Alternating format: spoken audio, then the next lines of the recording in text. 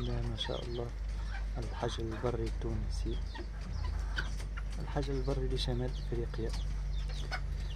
لكن الحجل البري في الشرق الأوسط في لبنان وفي فلسطين وفي سوريا عنده ميزة أن له وجهه فيه سواد لون أسود في وجهه خطين خط على اليمين وخط على على الشمال أسود هذا الحجر ذكر أنثى وذكرين.